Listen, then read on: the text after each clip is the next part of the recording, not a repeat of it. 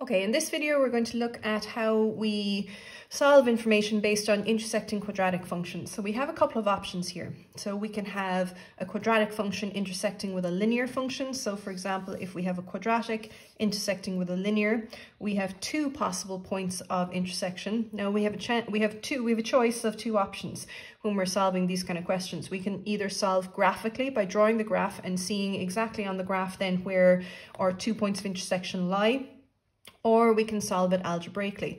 Always make sure that you read the question carefully as to which method they're asking for. Sometimes if they sometimes if a method isn't given, it might be easier or a better option to solve algebraically because that is always going to give you the more accurate answer, especially if these if these points lie on decimal places. So for example, if the coordinates at this point were, say, 2.5, 3.5, it can be harder to see from a graph. So in terms of linear and quadratic, we have a couple of options. One where a linear function may cut twice, so at two separate intervals. And also we may have a linear function that is a tangent to the quadratic function. In both cases, we can draw the graphs and look at where the intersection point is, or we can solve algebraically. We can also have two quadratic functions intersecting. So we may have a positive quadratic and a negative quadratic. That's one example of, quadra of um, intersecting points. And we could have two quadratics intersecting, which means that we could only have one point of intersection. It depends. So let's look at how we solve one example of these questions, both graphically and algebraically. So the question I'm taking is from page 395 of our book and we're going to look at question one, part E. All right, so I'm going to solve it algebraically first, and then we're going to look at solving it um, graphically. So we are given two functions. We are given the first function f of x is equal to x squared minus 6. And we are also given gx, which is minus x squared plus 4x plus 5. So those are our two quadratic equations. All right, so we're looking at two quadratics intersecting. Obviously, this is a positive quadratic, this is a negative quadratic, so this will be a U-shaped graph, this will be an N-shaped graph. So looking at um, solving algebraically, first of all, all we do is we let the two equations equal each other because remember we're dealing with one variable on the right hand side. This one is y is equal to x squared minus 6, y is equal to minus x squared plus 4x plus 5. So we can simply let them equal each other and solve. X squared minus 6 is equal to minus x squared plus 4x plus 5 bringing everything, so remember to solve a quadratic, we need to bring everything to one side. So minus x squared comes across, becomes plus x squared. So we have 2x squared we have minus 4x, that becomes minus 5, so that is minus 11, and that is equal to 0. So then we have a choice. We can either use the minus b formula or we can use factorizing.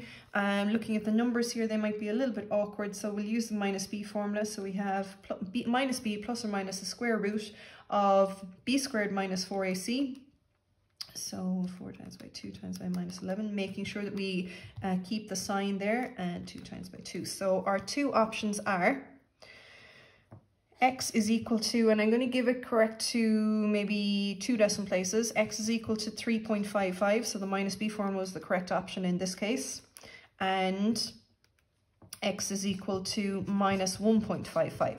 All right, so solving it algebraically is quick it's efficient, and you get an exact answer. Now let's look at solving it graphically. So the first thing we need to do with all questions is a, read the question carefully and you'll be given a range of values that you want to look at.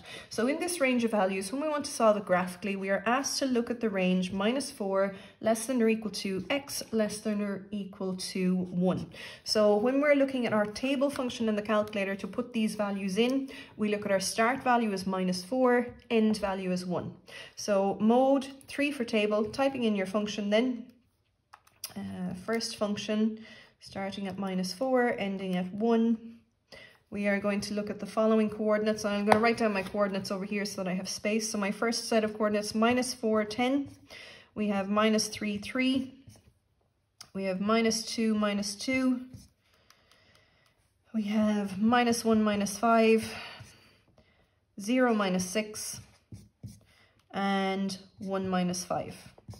That's for the first function. So I have them written on my side panel here.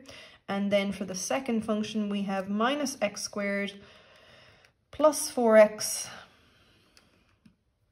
plus 5, same start and end point, same steps.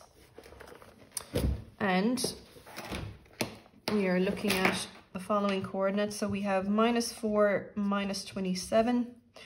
We have minus 3, minus 16, minus 2, minus 7. We have minus 1, 0, 0, 5, and 1, 8. Okay, now let's we know that from our algebra that the two intersecting points were 3.55 and minus 1.55. So those are the two values of y, yeah, x, yeah. So those are the two x values that we need to concentrate on. So when you're drawing your graph, so we need to go up to 10 on the y-axis, down to minus 27. Now obviously on paper, you'll be able to draw this a bit more accurately.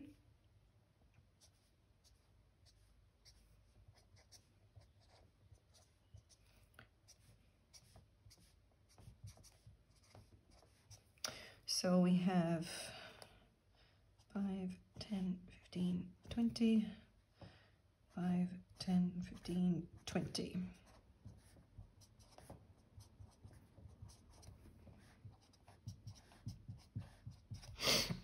Okay, our first point, let's look at the x squared minus 6 graph first of all. So we have minus 410, which is here. We have minus 3, 3, here. We have minus 2, minus 2, about there. We have minus 1, minus 5, 0, minus 6, 1, minus 5, and that will be a symmetrical graph, so the next one will be 2, minus 2, 3, 3 there, and that will be the shape of that quadratic graph there. All right, so that is f of x, sorry, so that's f of x there. All right, now we need to draw g of x. I'm going to do it in a different color. So we're looking at minus 4 minus 27, which is all the way down here somewhere. Minus 3 minus 16, which is there. Uh, minus 2 minus 7, which is about there. Uh, minus 1, 0. We have 0, 5, 1, 8.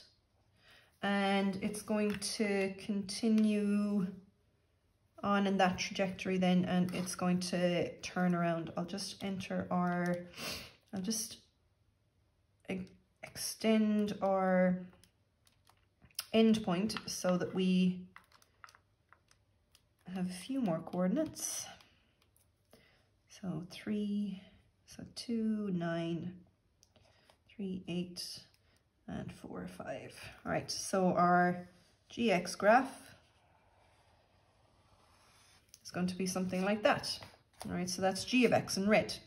So points of intersection, we can quite clearly see if we go up to the y-axis, or up to the x-axis, sorry, we're halfway between minus 1 and minus 2, so that's minus 1.5, 1, minus 1.5, roughly minus 1.55, and over here, we're not asked for this one, we're only asked for this section of the graph, but if we're asked for both options, this is 3.55 or 3.6.